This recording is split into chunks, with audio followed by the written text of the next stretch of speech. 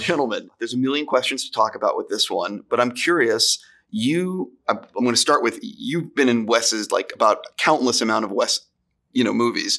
You've done one. Um, what is it like before this? What is it like when Wes wants you to do a movie? Is it a text? Is he calling you? Is it like how do you find? Does he just say, "Hey, I want you to save a, like these dates"? Yeah, it's kind of it varies. I think from my experience, sometimes he'll shoot me an email and just it'll be somewhat uh, um, unclear, but clear enough that it's it's likely that you may be working together. You know, it's, but uh, it's it's it's often like, uh, what are you doing in in May? And uh, you know, it either means you're going to Cannes or you're yeah. you're starting the next project. But it, it's, what what I find a little odd, and I guess some people, you know, respond in the negative but he, he, he's always uncertain as to whether you would want to work with him. no, I don't know about that. Yeah, it's always a little bit of uncertain. Like, would how would you, feel about yeah playing a director? I'm like, I'm like, Wes, yeah, of course, yeah, bro. Yeah, yeah, I'll make the time. I mean, the first time, obviously, we didn't have a relationship, uh, and so I Yes, that's the that's the that that takes you to lunch. yeah, yeah, you get, you get, yeah, you get to, yeah, now exactly. it's just a text or an email. Yeah. It's an email. We met. I was actually, you know, my agent was like, you know, Wes Anderson has this piece that he wants you to, you know, wants to wants you to think about. You you you're interested? Yeah, yeah, I'm interested. and uh, and he was in Paris, and I was happened I happened to be going to Paris with my uh, my kids like a week after I got this call. So we had we had lunch at a place on uh, Saint Germain called uh, Le Select. Uh, and we sat down and, and we had a good meal, and he described this idea to me. And what was interesting was that the character that he wanted me to play was loosely based on on Baldwin, James Baldwin, little Tennessee Williams. He said A.J. Liebling, who was his food critic for the for the New Yorker. But it, but the restaurant was one of Baldwin's haunts uh, during his time in Paris. So it was, a, it, Wes is incredibly careful, full of care and consideration in his choices. And it may have been unconscious or subconscious or conscious, but even in that first meeting, there was a bit of information, you know, that he was delivering, you know, about this piece that, uh, that I really appreciated. I'm so curious. What is you? You've obviously both worked with so many directors. What is Wes like when he's not getting what he wants? Is he does he have a temperature or is it always cool and collected? And what kind of notes does he give you on set to help you craft that performance? I feel like I've developed a shorthand uh, with Wes. And I know that I'm sure Jeffrey understands what I mean. You, you get a, a sense very early on of, of his specificity and the writing style and the uh, expectation to adhere to certain aspects of that style. And um, not all directors have that, or or um, but but you know going in that the, you have to be extremely prepared. Um, and Wes is always cool. You know, it's yeah. it's not it's you know he's never really um, throwing behaved or thrown. No, he's never. No, there's never that. Yeah. Um, and it's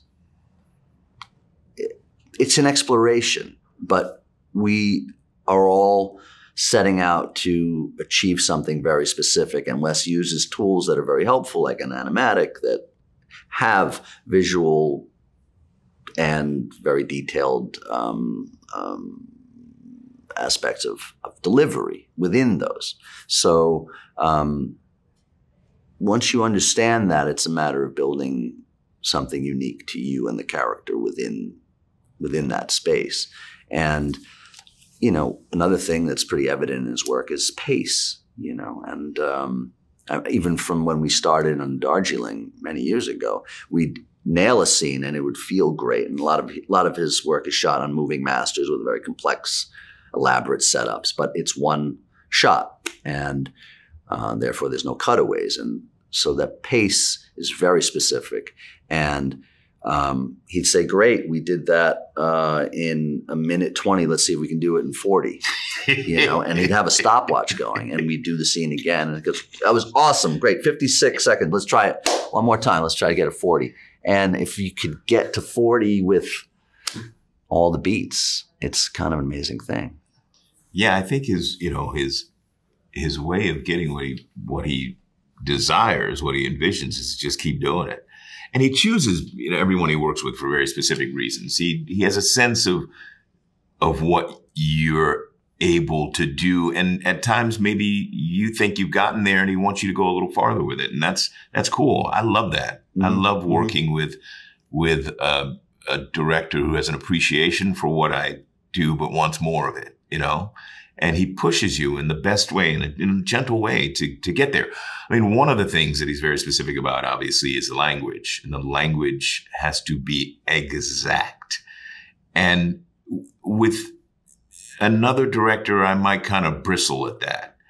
But his language is specific for a reason.